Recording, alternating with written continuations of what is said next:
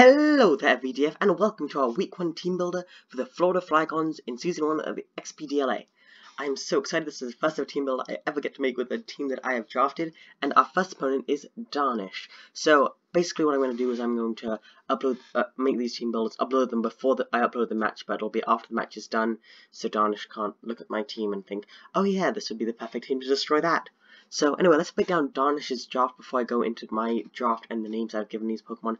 I've also gone for, I've made a document which is all the Pokemon in my draft, the kills, brings, and deaths.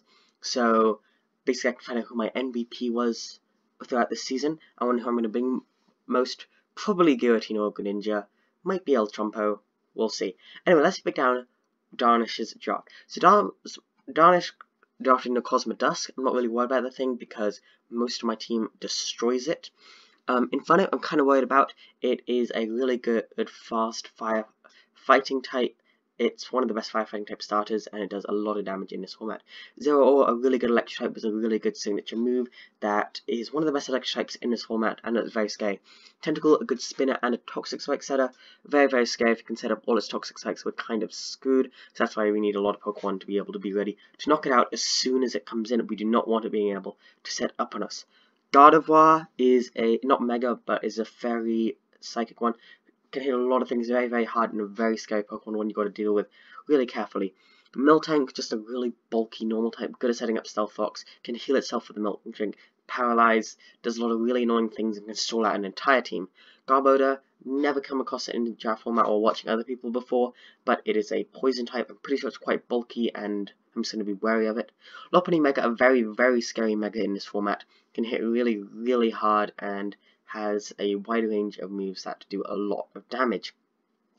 Mamoswine, a great Earthquaker and a great Ice type in this format, incredibly bulky and very, very scary for any team to go up against. Then there's Suicune, a very, very bulky Water type, one of the legendary doggos, and very, again, scary.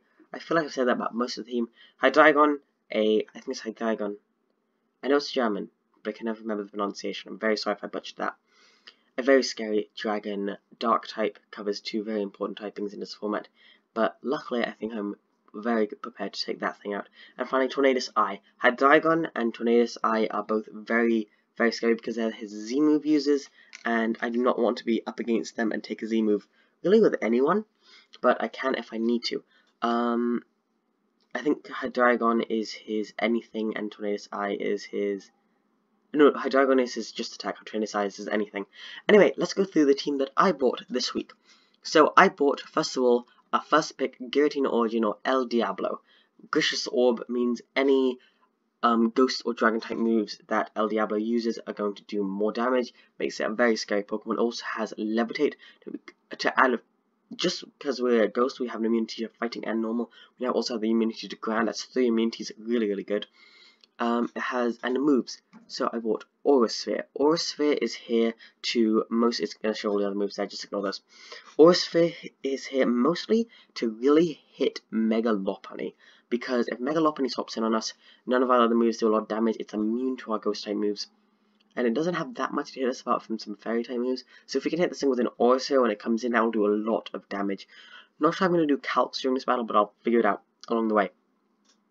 Um, also works against Hydreigon, because Hydreigon is a pretty decent swap into us, unless we hit it with a Draco Meteor, in which case it's dead.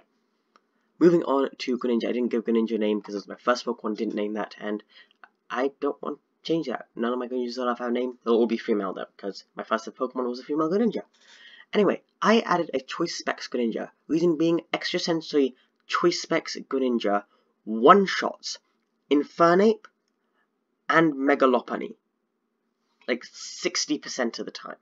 So if we can get this thing in and it outspeeds them, I've done everything I can to make this thing as fast as possible.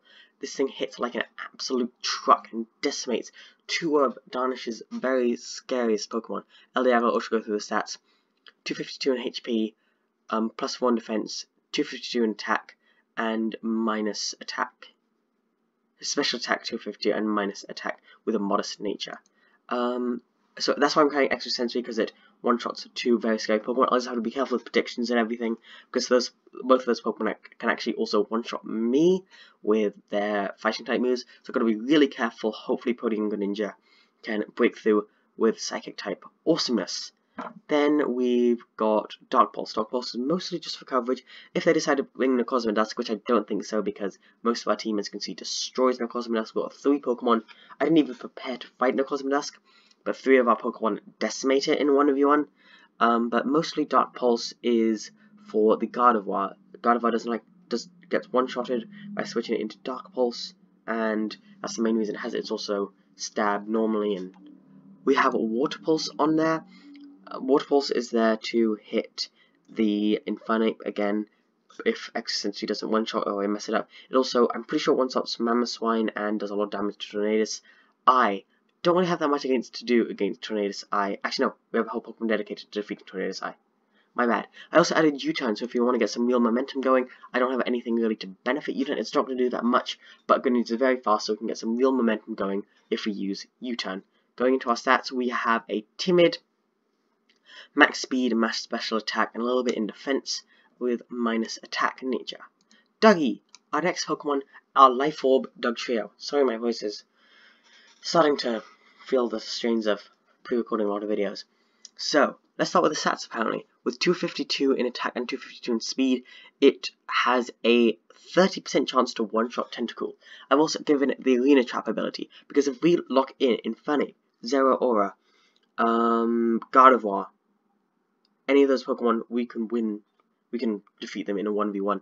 I've given it Life Orb so it hits like a truck, and for its moves, I gave it Earthquake because Earthquake with it one shots the Tentacool, Sucker Punch so we can get that priority, Toxic if I suck against a bulky Pokemon. This is mostly for Miltank. If Miltank comes in, we Toxic it and do a lot of damage. And then I added Stealth Rocks, because you can set that up, but Tornadus I does not like that. Moving, and we also have Life Orb, so this thing does a lot of damage. Moving into El Chompo, our Steelium Z user. Uh, we also have Technician, so it has 60 power or less as 1.5 power, and then we have Bullet Punch. So Bullet Punch and Iron Head Iron Head is mostly just using for Z. Bullet Punch will probably be our normal attack. And Knockoff. Knockoff is there to get rid of any item that could be known, like Miltank's leftovers. This thing is mostly here to take out Gardevoir, Garbodor, Lopunny, and Tornadus, I think. Because its only weakness is fire type. We don't want it in against type, but as long as you don't have it in against Infernape, we should be doing well. It has knockoff as well to get rid of any items, as I just said. I was debating either to use a bug type move or Swords Dance, because this was so slow, I feel like I was going to add U-turn, but U-turn isn't going to work. But if we set up a Swords Dance, hit them with a Steelium Z Iron Head, we're knocking something out. Something's going to die.